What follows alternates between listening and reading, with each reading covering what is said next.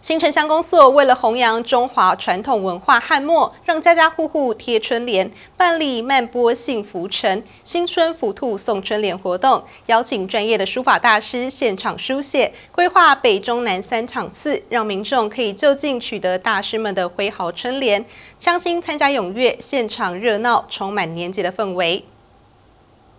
望坡幸福新春福兔送春联活动，邀请专业书法大师现场书写，分享农历新春欢喜气氛。活动分为三个场次，分别在新城社区活动中心、北北村办公处、嘉里村保安宫天公庙举办。邀请尤燕琪老师、尤丰义老师、张世觉老师、黄天煌校长、严文堂老师等五位大师现场挥毫。让乡亲可以就近取得大师们挥毫的春联，乡亲参加踊跃，现场热闹且充满年节的气氛，能够索取欢喜的春联，万分感谢各位大师以及乡公所举办的活动。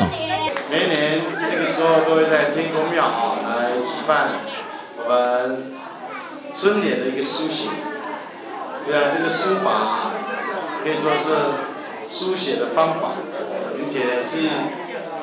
这个春联是投入这个书法艺术啊各方面的融入以及创作。那我们在每年的农历年啊，都在这个地方为我们的乡亲呐，除了来推广我们的书法文化以外，要让我们乡亲感受到啊农历年到了啊，我们的传统家家户户在家里前面，我们来放个春联，贴个春联，喜气洋洋啊，讨个好吉利。新的一年，通过这个春联的方式啊，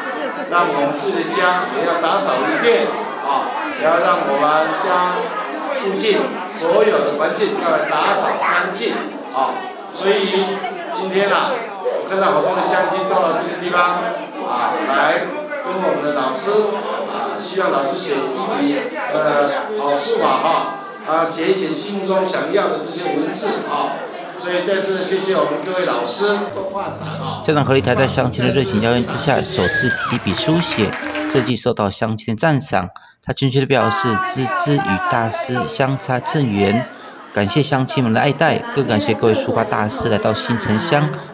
将浓浓的春节喜气分享给乡亲，并且透过活动向乡亲拜个早年。书法大师们亲笔手写的春联，感觉自己是非常活跃。比起一般印刷春联更有春节的气氛，也祝福相亲平安幸福，兔年行大运，新春大快乐。记得九文贤报道。